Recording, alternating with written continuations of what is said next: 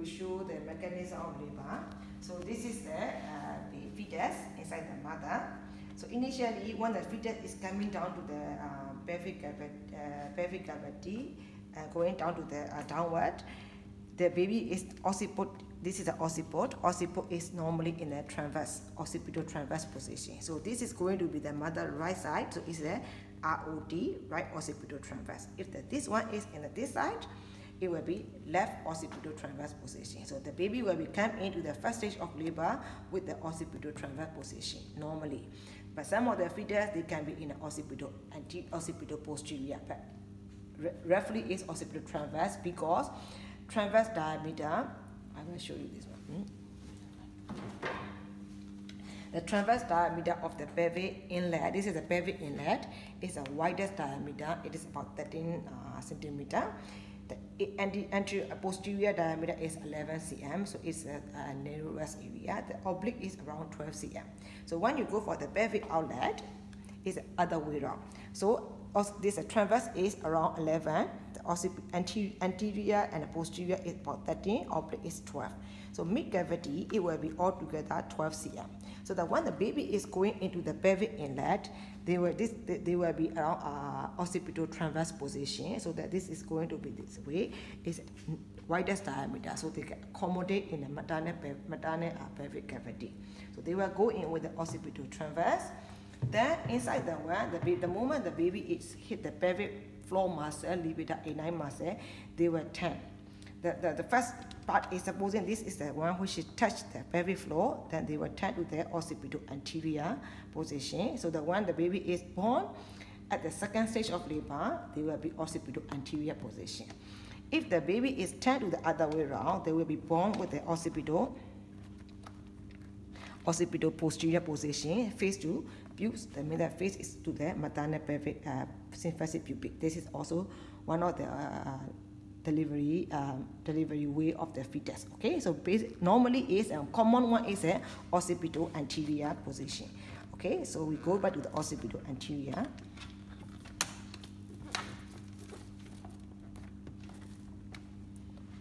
Okay, so initially like that, that occipital anterior position. So this way is a second stage of labor. So if like that, so in, this is the internal rotation. So first baby will be having the engagement of the fetal head and then descent after the internal rotation, so this is the internal rotation to the occipital anterior position, that baby will be born by, that this is the, all are flexion, then born by the extension of the fetal head, so this baby is, so when you are delivering the fetus, um, the one hand is at the maternal perineum, cut the perineum, the one hand is for the cut there, the baby, uh, my mother's uh, symphysis pubic area, so that you're covering, protecting the clitoris, and then try to hold the baby head, baby head by the flexion so the baby will not be suddenly extended and it will not injure the maternal clitoris and the vestibule and other area.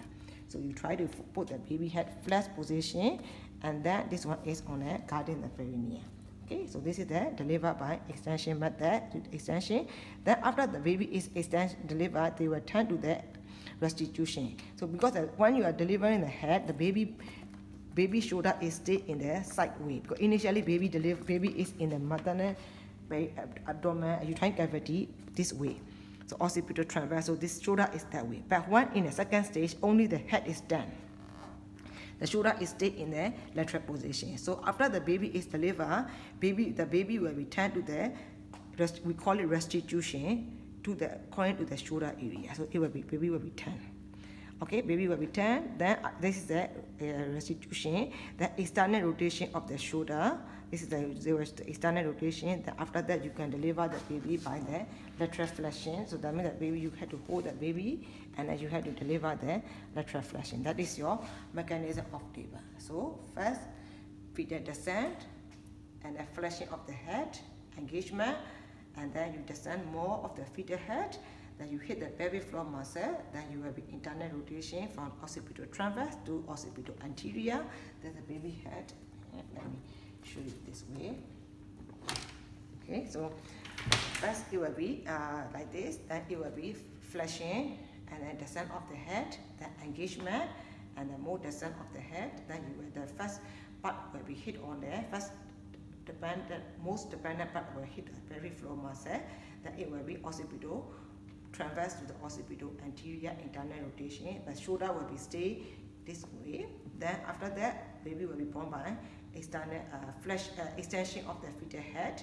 Then they will turn to the lateral uh, restitution and the lateral uh, restitution after the external rotation of the shoulder. So that at the time you can deliver by the lateral flexion. So shoulder dystocia normally happens after if baby after the extension, the baby has to turn the head, the head has to be turned to restitution and after the external rotation. But shoulder dystocia happen in that stage. So baby will be after extension they will not be turned. So it will be like this only. So we call it turtle neck and then shoulder dystocia happens in that area.